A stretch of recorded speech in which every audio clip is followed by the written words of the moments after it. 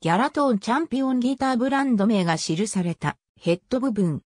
ギャロトーンチャンピオンギターは南アフリカ共和国最大のレコード会社ギャロレコードカンパニーが1950年代から1960年代にかけて製造していたアコースティックギター。安価な作りで初心者向けの楽器として数多くの国々に輸出されていた。